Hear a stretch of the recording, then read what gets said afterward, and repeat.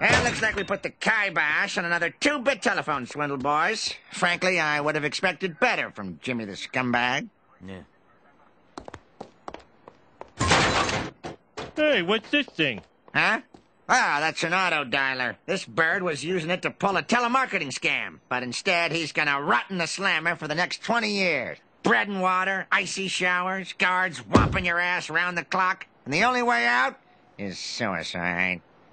Telemarketing, eh?